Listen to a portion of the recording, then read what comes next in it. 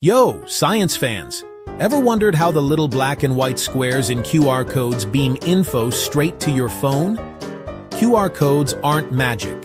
They're genius engineering. Let's decode the secrets of this amazing tech. First, spot a classic QR code. It's a grid of tiny modules, black for ones, white for zeros. But not random. Those big squares in three corners? They're finder patterns, like eyes that scream, Hey camera, I'm here, even if rotated or far away.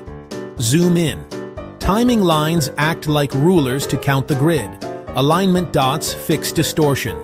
Your phone snaps it, detects these, straightens the image, and reads the zigzag binary data, turning pixels into text, URLs, or whatever.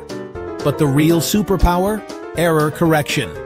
Using math called Reed-Solomon, same tech in CDs and space probes, up to 30% of the code can be damaged, scratched, dirty, or doodled on, and it still works.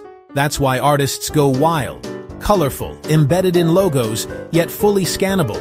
When you scan, your camera processes it in milliseconds. Invented in 1994 by Toyota for car factories, now everywhere, from payments to menus. Mind blown? QR codes are pixel-perfect resilience. Drop a like if you love hidden tech. Subscribe for more bite-sized science facts.